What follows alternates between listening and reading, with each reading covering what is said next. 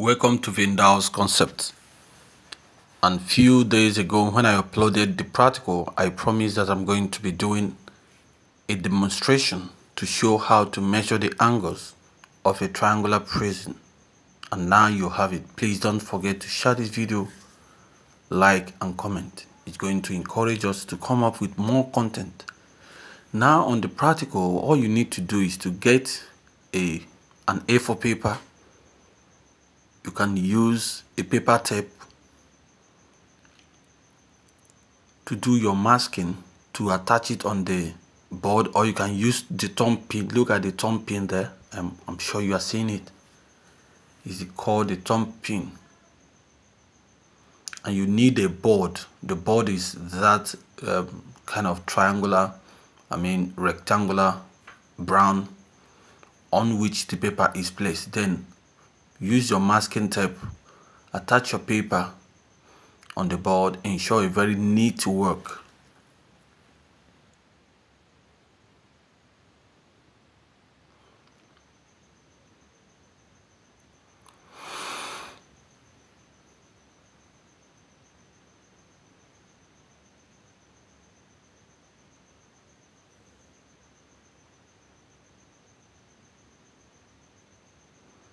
now keep attaching. When you are done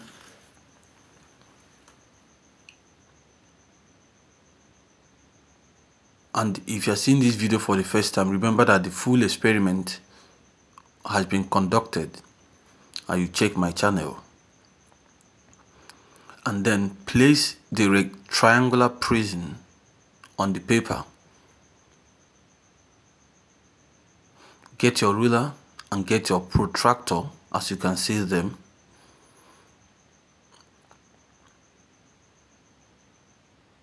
Then use your pencil.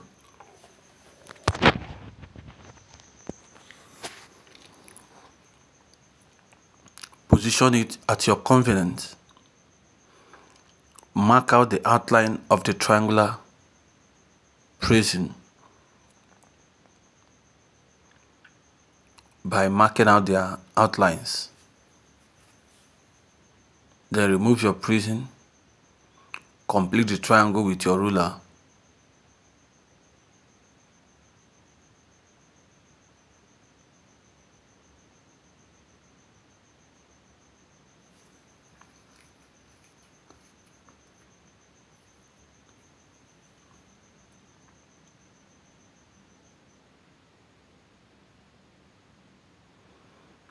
Okay i'm sure you're seeing it. Mark some point abc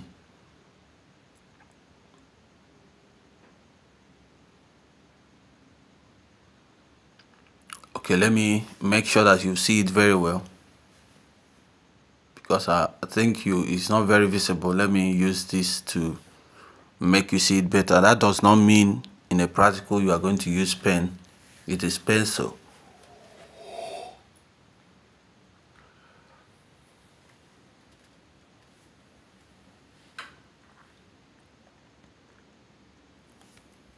I'm doing it to add the vision, visibility of the outlines, ABC, of the triangular prism. Make a point on one side of the triangular prism. Make a point on one side, mostly to third of the length of AB. Make a point, make sure that that particular point is visible on that line so that you can use it for something.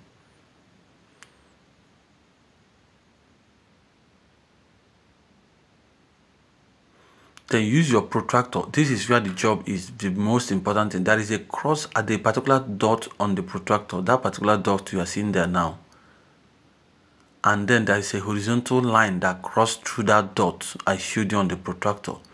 This is where the job is. That point you made on the line AB of the triangular prism make sure that that your dot place at that particular point adjust the position and make sure that line AB matches the the horizontal line of the protractor. That is where the main thing is because that is where you want your angle to be. Then place it firmly so that they will coincide and adjust it so much. Check if they have really aligned. Then when you do that and you are sure that it is correct make a point at angle 90 what you want to do here is to draw a perpendicular line called normal on the face AB now when you have made that point use your ruler and join the and join it. And now you've made a perpendicular line. Then call it normal. That n I wrote there.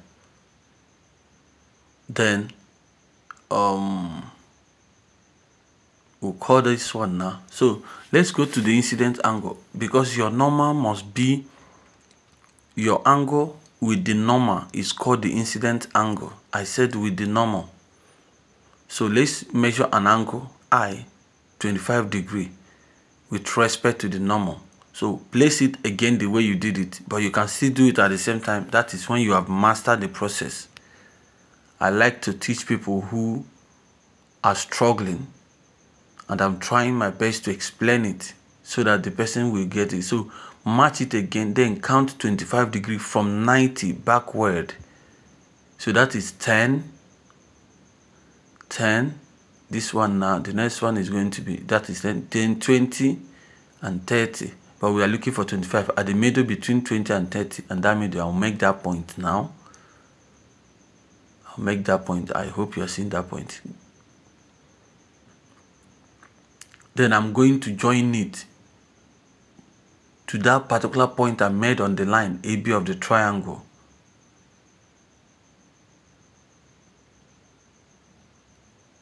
And I'm going to, you see that line is now with the normal. That line I'm drawing now, we'll call it the incident angle and which is 25 degree in my case. Now your work is coming. You are building it. Now you have measured angle 25 degrees with the normal. Then let me show you that this is perpendicular by giving you that perpendicularity sign or symbol. Then I can place my prism back on the outlines I made. But before I do this, sometimes I may decide to put my pin on the line on the incident ray but I have already put my triangular prism no case no issue. So this is my triangular prism I'm trying to show you different angles different dimensions. For you to see how it is well placed on the line I made.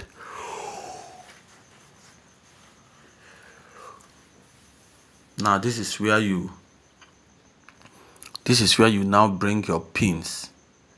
P1, P2 or R1, R2 according to the question, the way question want to place it. So get your pin, go to that line uh, I made, the angle that I measured, that line, on that line, on that line, carefully place your pin. Because that is why that is why it should be a pin. You place it strong so that it can stand erect when you have done this you can now go to the other side. There is another side AC you can go there stay there and view and view. Because the angle is a little small uh, seeing it may be somehow it's not difficult. I won't say it's difficult. If you look at it very well from that side ac don't look at it from the side bc but side ac then you can place your pin 3 and pin 4 so that they will appear to be coming from the image you are seeing from AC. If you don't know how to do it, you can call for help so that people can make you see it.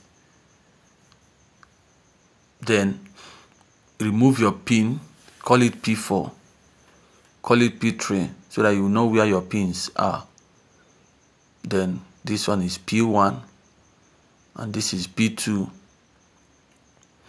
now, when you are through with this process, your work is coming close to an end. Make sure that those two lines you made, P3 and P4, you join them straight to the line AC, to the to the to the side AC of the triangular prism. Ensure that you are you are very sure. Then eh, I can also extend that line. We call it the emergent ray this one I have drawn now is the emergent ray this is the ray going out from the glass to the air again then join from the incident ray back to that point. Okay I'm extending the normal now. I'm extending that normal.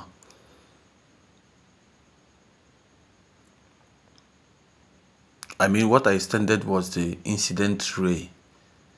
You know we have incident ray we have the emergent ray now I'm making a point on the face AC, the same thing I made on the face AB. I'm making a point where I'm going to draw my normal at AC again, just like I did at AB. Now I'm making my normal, repeating what I did on the other side of the triangular prism. So making it to align, I'm making my my middle to match the point I made on that side, make it to match very well. Then I'll point at the side 90 degree to draw my straight line. Now this is my angle 90 degree. You see the angle made with the emergent ray, we'll call it emergent angle. That is the emergent angle E. And I'm extending angle 90 of the face AC. I'm also going to extend angle 90 of the face AB. And then they will join. Then I want to draw the refracted ray so that is joining from 90 of AB to 90 of AC. When I join it, I have made a refracted ray. Refracted ray. And we have this one now, the refracted ray, the line, the angle made with angle 90 inside the glass for the two sides, AB and AC, but I just written for the other side. Now, the point of intersection between the incident and emergent ray they are called deviation angle of deviation angle of deviation you can consult your textbook to confirm a few of these then i want to measure that emergent angle to find the value most because most times you need it so how do you measure that angle? Look at that same point on the protractor. Make it match on the point you want to and let the horizontal line of protractor match the horizontal line you want to the angle to be measured. If you still don't understand, you can ask a question. Now your angle is going to start from 90 and count backward to meet the line called emergent ray. so you count backward and stop a particular place and that is my 80 degree my emergent ray in this case is 80 degrees. And my job is done. Well you can also measure the angle makes with the normal.